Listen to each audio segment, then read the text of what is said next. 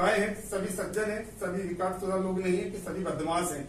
आपसे निवेदन करते हैं कि ऐसे दमन लोगों के ऊपर उचित से उचित कार्रवाई की जाए, यही आपसे अपनी मांग करता है। और कई वर्षों से, पिछले चालीस वर्षों से निवास वहीं पर कर रहा है।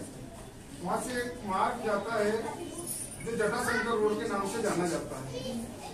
वहाँ पर ही उनके मकान बने वाइली में रहता है। तो वाइली के उस परिवार के साथ वहाँ के दबंग लोगों ने, उदावत परिवार ने काफ़ी मारपीट करी है। और उसका कारण ये था कि वे लोग रोज़ उस रोड से आना जाना करते थे जॉगिंग के नाम पर और गंदी गंदी गालियाँ पब्लियाँ देते थे। इसका विरोध हमारा एक साजन सिंह जो हमारा जीजा जी लगता है, उनने किया।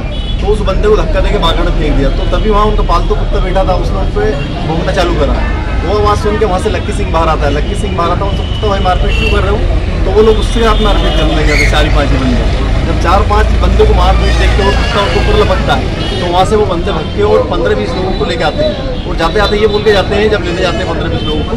कि हम अपनी यहीं पर आ रहे हैं और तुम्हारी माँ छोड़ दो। प्रकरण को लेकर ज्ञापन देने के लिए हमने एडिशनल एस पी कन्नौज को उनका ज्ञापन भेजा है जाँच करवा के उसमें जो भी उचित कार्रवाई की जाएगी सर इनका आरोप है कि इन- इन्होंने जो कार्रवाई के लिए आवेदन दिया था उस पर कार्रवाई नहीं हुई वहाँ के थाना प्रभारी द्वारा। नहीं इस प्रकरण में ऑलरेडी एक एफ़ हो चुकी है। तो जो एफआईआर हुई है, उसमें इन्वेस्टिगेशन ऑलरेडी चल रहा है। इनकी कुछ और तथ्यों को सामने लाने की बात अभी आई है संज्ञान में। तो उसके ऊपर भी जाँच कराएँगे, उसमें भी जो तथ्य आएँगे, जो सच्चाई सामने आएँगे, उसके ऊपर कार्रवाई की जाएगी।